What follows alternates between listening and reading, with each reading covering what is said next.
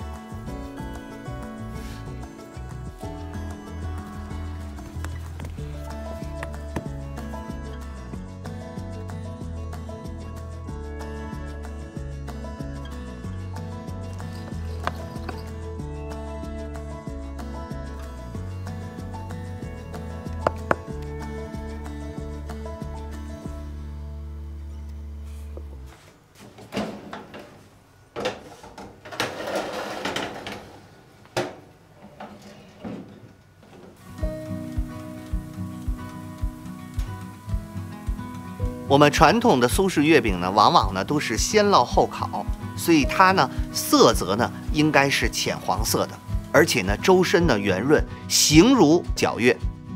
它的口感是外酥里嫩，而且呢香甜适口，层次清晰。所以说，苏式月饼是我们江苏鱼米之乡的非常有特色的月饼之一了。